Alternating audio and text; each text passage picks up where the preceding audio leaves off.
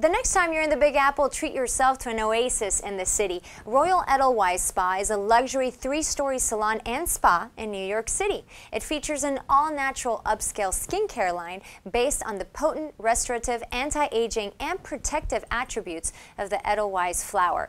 The Platinum line has cooling cucumber extracts and is light and non-greasy, perfect for summer and sensitive skin. Born in the Swiss Alps but based in New York. Go to royaledelweiss.com for more details and mention Coffee with America at checkout for 20% off. And the first 10 customers get a free voluptuous lip plumper.